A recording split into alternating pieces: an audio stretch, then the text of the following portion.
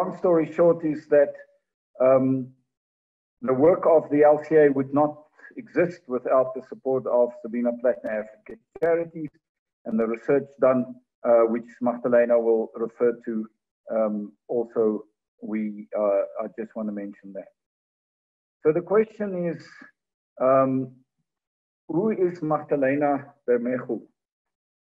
And this little slide is saying to you this is basically where she's going to talk to us from tonight. Now, this is a, not the area where she is, but this photo gives you an impression of the rainforest and the size of it. And um, so when she speaks tonight, this is where the bigger area where she's going to talk to us.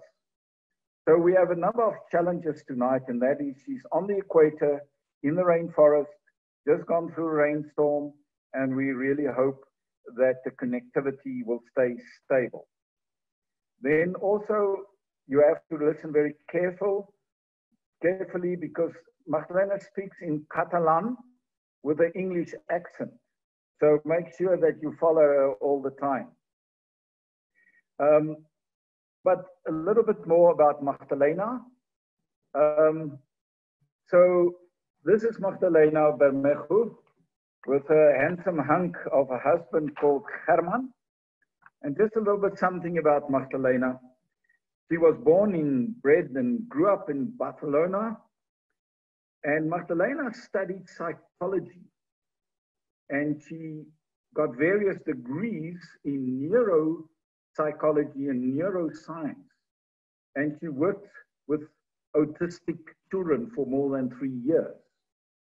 And then she started working in the zoo in Barcelona. And she started becoming more and more interested in the primates.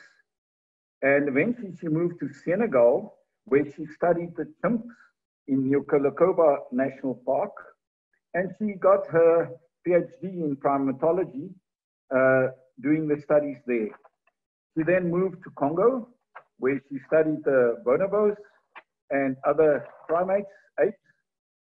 And she and Herman have been living in Congo for just over 20 years in these forests and been studying the various apes or primates um, in that area for more than 20 years. She also worked in Gabon, uh, uh, Equatorial Guinea, and she's got incredible experience and she's a world-renowned uh, primatologists and scientists. The Odzala-Kokoa National Park in the Republic of Congo houses 13,000 square kilometers of pristine Congolese rainforest and one of the highest densities of western lowland gorillas. At the edge of the park is Ngaga Gorilla Research Camp, located in the center of the largest concentration of gorillas in Africa. This camp is of global importance for primate research.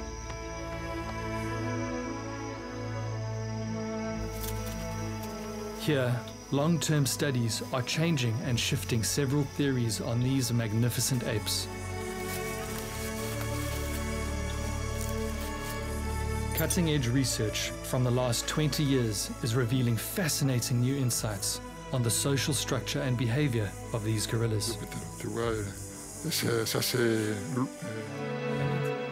The effective use of non-invasive methods such as camera traps and genetics reveal that these gorillas' behavior is completely different to that of the mountain gorilla. Data has been collected at Ngaga Research Camp since 2015 and a total of 40 groups are currently being studied. The future collection of data, comprising of individual recognition and movement within the forest matrix, will answer many questions, bringing new and unique insights.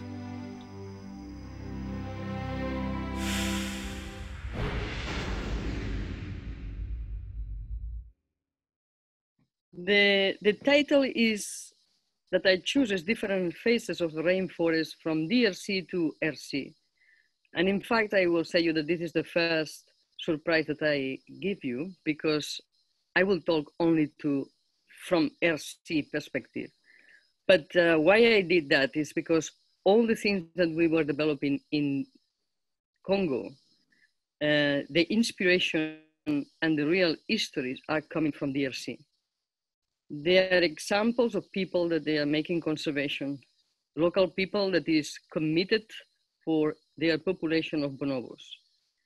And I never expected something like that coming from Senegal or other countries. I never expect this attitude with wildlife. And it's something that at the beginning I thought that is only that I was lucky. And then suddenly I realized in the two years that we were there, that there is something very deep in the forest that is coming out of our mindset and it merits to work very closely with people in the rainforest to understand this reality. And all the things that we were developing in Congo is because these two years in DRC were extremely, extremely touching to us. Then we can pass to the next slide. And I want that now you make an exercise to be relaxed. The only one that needs to be a little nervous for my Catalan English is me. But try to feel in these pictures that I am now projecting, try to feel what you see. This time I will not talk a lot. I will only try that you fix the eyes, you fix the colors, you feel something. And instead of using your brain, try to feel your stomach, the other brain that we have. Because you will understand later why. We can see the other, the next one, because now is a is a is a flow with the motions of this picture. Uh, of course, if I use a gorilla as the first picture to put you an emotion, is for something. I know that everybody in the world love gorillas and is the passion and the excitement of everybody. But seeing the gorillas in the middle of the Marantaceae forest, where I never expect that I needed to study these animals in this kind of forest, was really a lot of different emotions. First time I say, why we need to study here? We will change the place. And secondly, I was trying to focus and make my job. But I never would make my job if these people that you see in this picture, these faces on the right, and this magical atmosphere of uh, Odzala was not there. Uh, working with a tracker, someone that is able to follow the tracks of the animals without losing them, is like walking with the animals. It's not even tracking. I will say walking because it merits a proper attitude and you really need to listen in an open and humble way. And this humble way is the thing that I learned with these people. And we have the honor to have workshops with people from different regions of Central Africa, all mixed during one month, trying to be the best one the first 24 hours. And after that, the second day, everybody understood the advantage to learn about the others. And it's two, three days, all of them, they're improving their expertise. Then I will give a, a big, big thank you to these trackers that makes my life beautiful and my profession with meaning.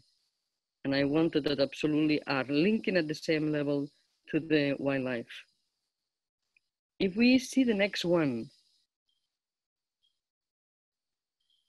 slide, I know that Chris loved that, and a lot of people love that. I am not the style of person that uh, likes to show these pictures when several years before, uh, but I think that has sense here. This is how we began in, in Congo. We built this uh, house on the right, white house, of course. I am Mediterranean. I need something white with the, with the light. And uh, you see here one of the sessions where the trackers are coming back uh, during the workshop. Uh, there is the master trackers that are making the analysis of how the expertise is done. And they were giving qualifications about that. We can pass to another one. that is changing the camp, and I am living now in Ngaga. This place was in Zay, and we moved to Ngaga, and I will say you the reasons why. We will see the next slide, please.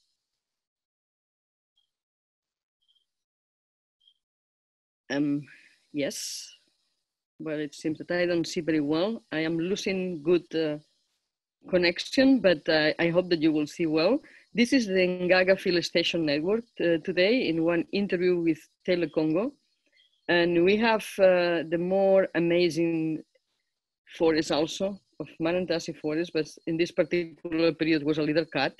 It's still nice visibility surrounding. If you see that tomorrow morning is a complete forest that you don't see anything now. Um, you, you can see also on the right that Herman is eh, with a team of students from Brazza University, and they are initiated in the GPS uh, function, and uh, they are prepared to begin the, the study on the forest. Their first day in the forest, their first feeling in the middle of the forest. Now we jump again to this species of schizophrenia, going for humans and going for apes. And this is coming from Congo, but it's inspired in some examples also in DRC. And I call golden faces in the forest because it's, it's the soul of the forest. Is people that has legends and myths and can explain the behavior of the animals and the origin of the humans and the apes, like living together in some period, very old time, and representing this dancing. This woman is 70 years old. When she's dancing, representing that, it takes three days, three nights, and is moving exactly like an adolescent of 17 years old. As I say, she's very shy. Uh, she was a person that probably takes time for me to to really understand her, and she understand me. But we were at the end very friends, and she showed me a lot about attitudes, respect, being in silence when things seems very hard and wait at, until the, less, the next moment. Then I want to recognize this person. And uh, then we mix again this, this group. If the first group that was habituated uh, of Western and Gorilla and is in the reserve of Fon. Later we will see the maps and we, we will escape a little of this confusion of faces and, and humans and apes. But I wanted that you preserve this memory of this face and these eyes because we'll be connected with another chapter of this presentation. So I don't forget that. And then we can go for the next one.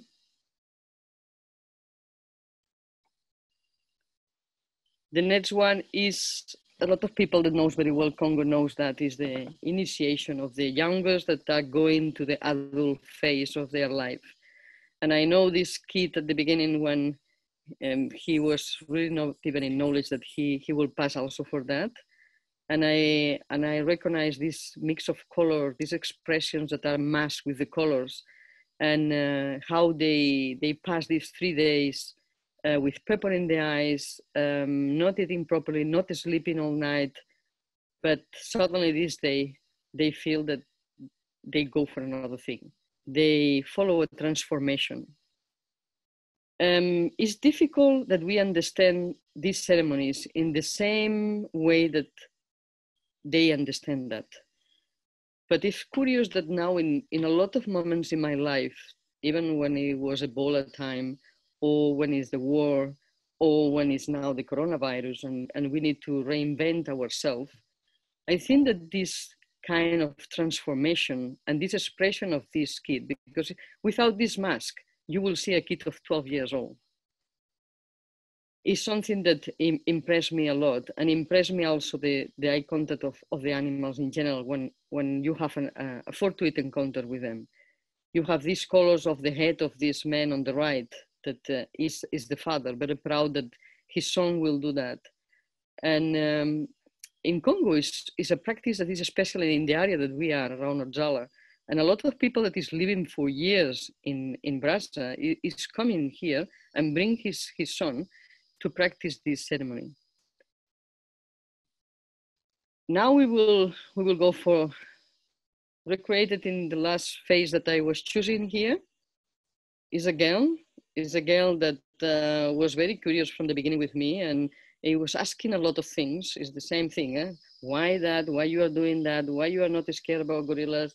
Uh, why is important that uh, you are doing that in this place? And why you choose this place? And uh, it was very young in this moment and say, why you choose this place instead of Odzala? And uh, in, in this particular moment, I look her eyes and I say, probably for your eyes, probably because I, I want that you see what I am doing and I want that the animals look you also. And now this girl is, is a mother, a new baby that is very young. And uh, I, I, will, I will show to, to her also that uh, this was exposed and I was talking about her. She's also very shy. A lot of people shy surrounding me. And now we can go for let's situate it, our place let's situate Congo. I think that on, on, the left you, you see Congo and we circle in red Odzala and Lossi. And in the middle we have more detail of Odzala because we need to understand that it's more than 30,000 kilometers square. And in the southwest we have this circle red that is indicating Lossi. A focal point that it seems very small point, insignificant compared to Odzala, but from the day number one was very significant because this area was created as a reserve of fauna because people, communities request to the government. Is the first one created like that in Congo. Is the one that still every minister, every person involved in conservation in the country feels something special. And I think that um, I have my, my friend and my colleague here that is Paul that knows very well Lossi, as I know also. He was working there also with us in a very difficult moments. And uh, we have, uh, this area is 384 kilometers square, more or less. And then the map of the, the right, I introduce because uh, the, the way where we are going, slowly but for sure, is in this orange area, is the area that will be considered probably as a category six IUCN that can be used for communities, but not used for logging or any more bigger company like that. We have um, in the northeast this space of triangle that is Ngaga. That is where you see the pictures that uh, I was there showing you the forest.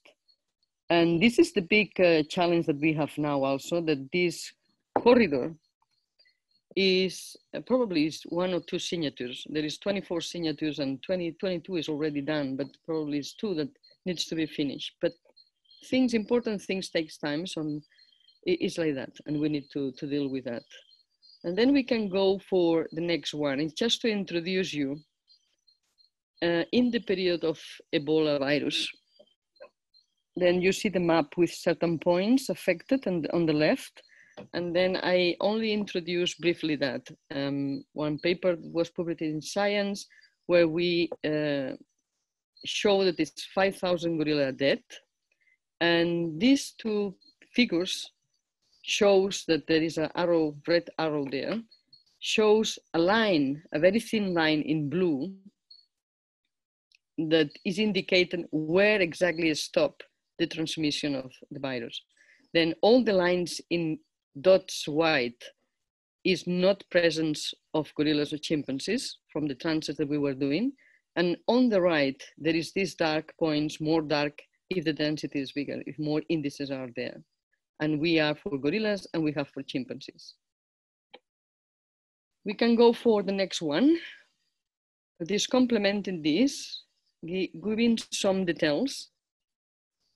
Then this blue line that we are showing in the previous one slide, here is with the shape of the river in blue, and you see all these um, circles that is indicating the home range of different groups that we were following after the first Ebola outbreak affecting uh, Losi area. And we have in 2002, uh, the half of the reserve affected for Ebola and a lot of animals dying. And in 2003, one year later, in the same period in October, uh, we began to study all the groups that were in the in the half in the eastern half of the Lossi. Uh, we make this effort to follow uh, very very uh, deep at minimum seven groups. There is one that um, is this part that that there is less data that you see in the in the in the chart. And we follow all this nesting site is situated until in our follow we see that they cross the home range of another group that we begin to follow. And uh, we follow that from north to south to see how the days, two weeks, three weeks are passing and other groups are infected during this time. And we follow in each of the group also how many individuals are disappearing and which speed are disappearing in the group. I don't need to say we go, we, we will touch again our stomach and we, we will feel that, what means that? It means that walking in the forest where all the forest and the trail systems are empty. The smell of the forest is like rotten meat in any place. And all the trails that you recognize, this gorilla that I indicated at the beginning, I, eyes fixed, it was very special because was black back individual and he's occupied in all the trails. He loved to follow the trails, even 500 meters, even sometimes a kilometer. And each time that we were following these trails, these eyes is coming to uh, our mind. That we needed to concentrate. that This kind of work needs concentration. And this is how we balance during this period to learn how to deal with these emotions that we feel, how to deal with this message of our colleagues writing, uh, saying, I am so sorry that you lost your habituated groups. And our only answer was, uh, there is 5,000 following our calculation dying, then I think that the habituated ones has not the same context as 5,000. Um, yes, the next one, you, you see again this, the group that we were following, the first one to be habituated. And in this place, we were also lucky that uh, they are consuming specific trees, those is two species different, to eat the wood and they can use the same rotten dead tree for two, three, until five years. To eat that, they practice a hole, and it's really very difficult to get that. And everybody is waiting online and practicing the consumption at the same place. Then the concentration of saliva, if some of the individuals are infected, is really high then the high potential for within group transmission is high. And at the same time, there is other groups that are visiting the place. And because the animals stay for longer there doing that, two, three hours, then this focal point is also a risky place for between group transmission. Let's go for a phases again that we touch.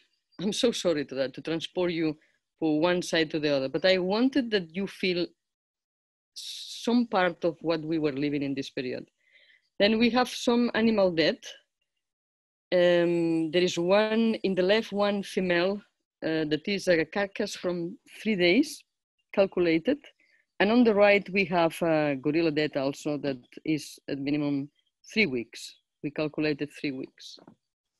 Um, we find in total 60 different animals dead uh, it's very difficult to find the carcass. In a certain point, we began to be close to the river and streams because we understood that they can be really very tired and approaching to water.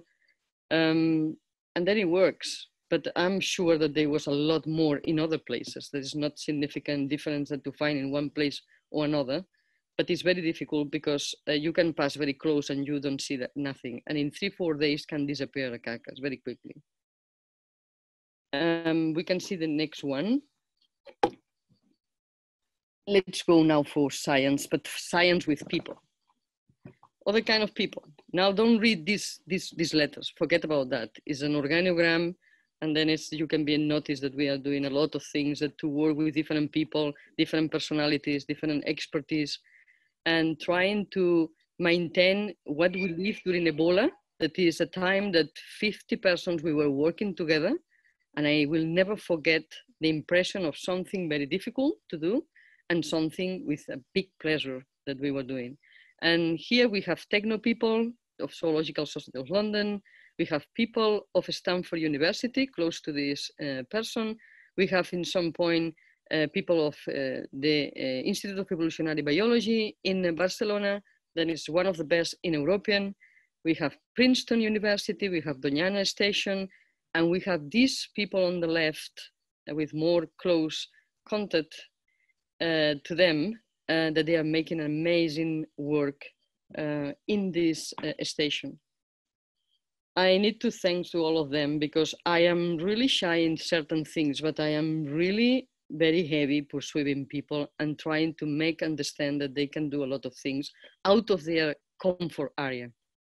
I know that all these universities is fantastic, but I know also that the continent, this continent, has amazing things to discover and needs amazing brains to work together. Then we can go for the next one. And let's see other, other here they are uh, installing the, the Master 2 students of the University of Brazzaville that are central part of our field station network. What we pretend is that they are not running for foreign countries only. They can go there, they can visit and they can work for sometimes there. But what we want is that these other universities, they wish really to work here in, in this part of Africa. And I am very proud of, of these youngers. It takes longer. We work before with other students, but I never see an energy like that and capacity to work together. And uh, we, we were making workshops. We are preparing them on the field at the same time. I was bringing them to the to the College of Mbomo. For me, it's very special, this College of Mbomo on the right picture. is the place where uh, we introduced uh, Madame Sabine Plattner to, to Mbomo.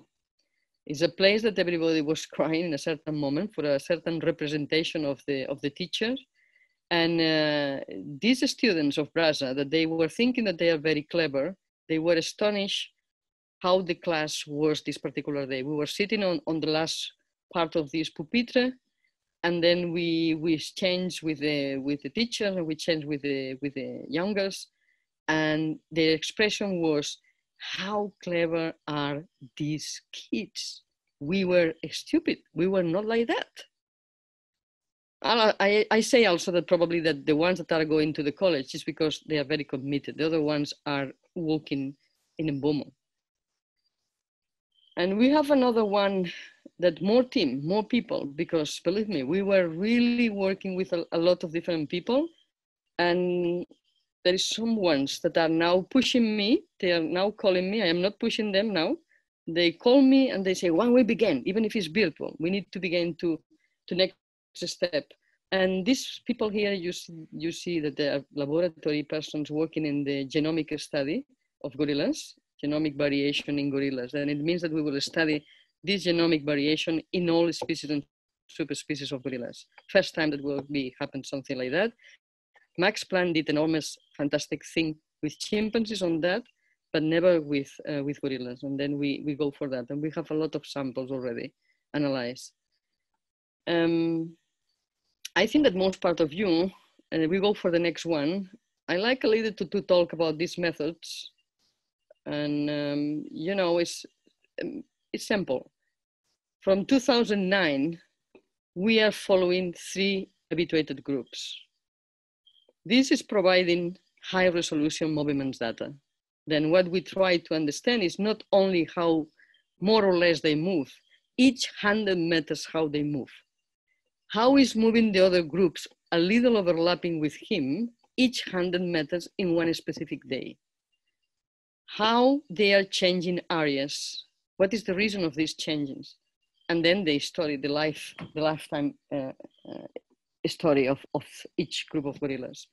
But we don't have not, not only that, we have also this possibility to study through camera traps more than 45 groups of gorillas. This is unique in Central Africa, completely unique and it's because they consume here not the wood that I was talking in uh, in Lossi. Here they are eating roots in a specific Maranthes tree that is very common in Africa in general, but is never observed used for gorillas or even chimpanzees in any other place. then we are lucky because they are using the same tree for that we know now is 14 years. Imagine if we have 60 different trees disseminated in 300 kilometers square, and we can follow exactly all the changes of this population. Then all the research questions will be at the scale of population. Of course, all the computer scientists and all the ecologists are joining one to the other because it's impossible to work all this data if we are not going in team and using proper technology.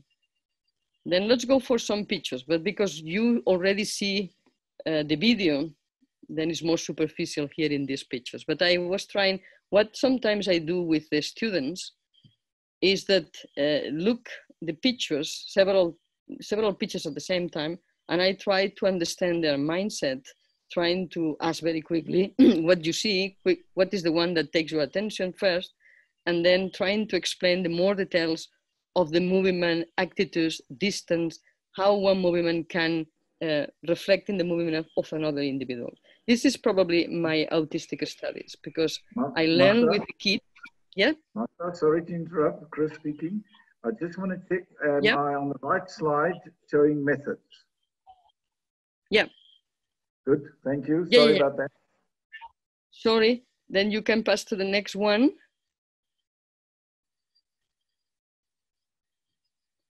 But as I say, they, the, you see all the video. Um, of course, on the left below, you see two silverbacks. Uh, you can see also in the in the bais, you can see that. But you see different things. What happens with the bai, what happens with the root mining sites. This root mining can be areas very big and are digged during 14 years. Then you can imagine that uh, it could be an area very, very, very big and plenty of holes. And sometimes one silverback can be in a hole and you don't see him. Um, the particularity is that there is not a bai that is attracting anybody to the bai.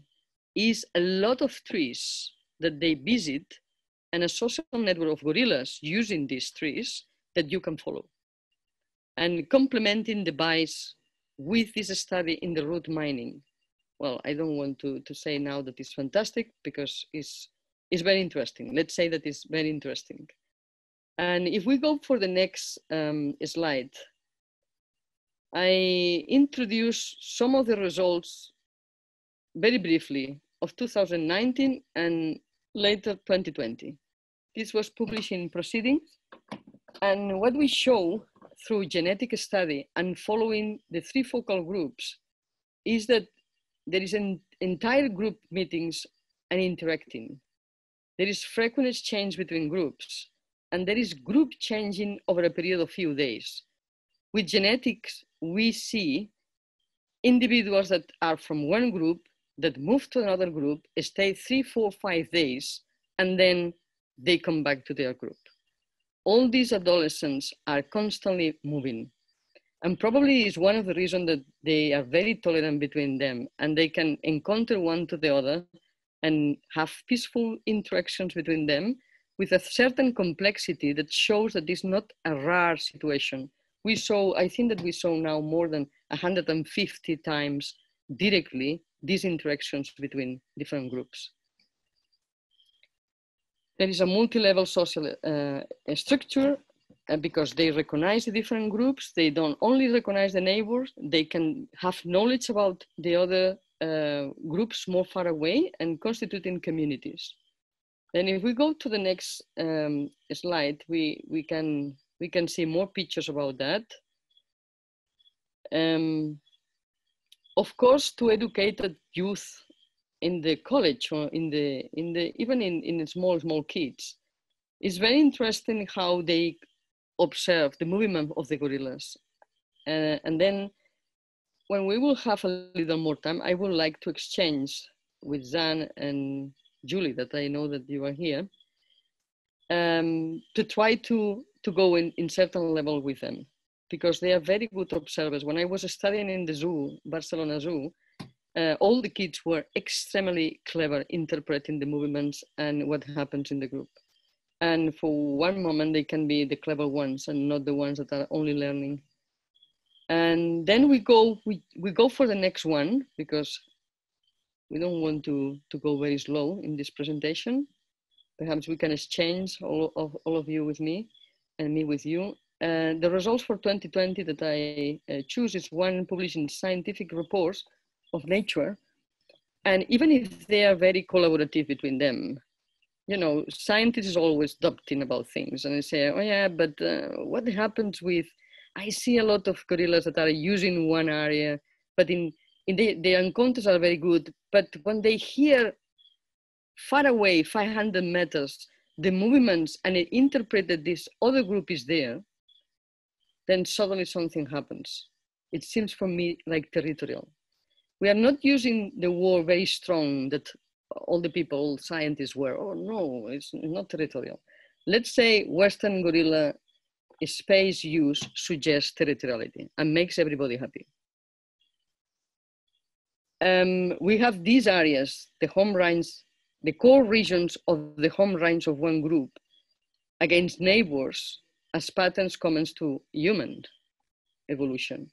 And we have also at the same time these large zones of mutual tolerance with a strong defensive response for more dominant groups. It's not the same if it's a mature group uh, and a young group or the number of individuals or the number of females that are in the group. Then this extreme that we say about humans, territorial-based violence and also engaging in the strong affiliative intergroup relationship, we can think that humans, we are like that also let's try to see the both sides of the thing. In all my life, I am trying to see the both sides of the mindset of the other people. Sometimes I need to be shy. I need to be in this flow in, in my mind to try to understand things in another way, see things in another way, and transform things. And I hope that my message now is I would like to preserve some of the things that we were living the last two months because we need to transform our reality. We need to be more human beings at the same time that this conservation for nature is more deep and beginning in, in, in my stomach, as Chris said the other time. These emotions needs to, to go for this combination between facts, emotions, feeling, understanding, patience, perseverance, and perspective. And I think that these three PPP, this is for Ruben, Ruben, don't forget when you study now that uh, you need to go for that. That uh, the patience without uh, perspective and perseverance, there is nothing. Then you need to mix these three things. And uh, I, I want really to thanks again um, all the people that makes possible this dream. There is not separation between my normal life and my passion. And when I was a kid, and I, and I think that Chris will love that, my dream. I was only seven years old. Um, my inspiration was Marie Curie. I wanted to be Marie Curie because uh, he's a researcher. And I see in this biography and the way that he's doing is like a crazy person uh, focusing research with his husband that was focusing research. And I was thinking how wonderful could be flow in something that you love and you don't see any difference between holidays and and your work. And this is a privilege. A lot of people say me that. And I hope that for a lot of people will be a privilege in future.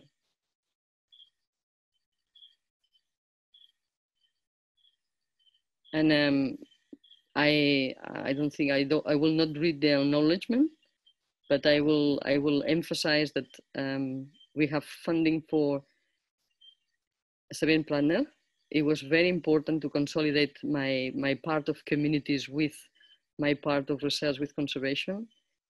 European Union, DG uh, Spain, UNEP, LifeWeb, uh, European Union with ECOFAC was a long time also, making census in, in Odzala, developing uh, things with Fiona Maisels, other colleagues. We were a lot of researchers at the beginning working together also, at the beginning especially. After that, it was less action in research now again is that at the University of Barcelona.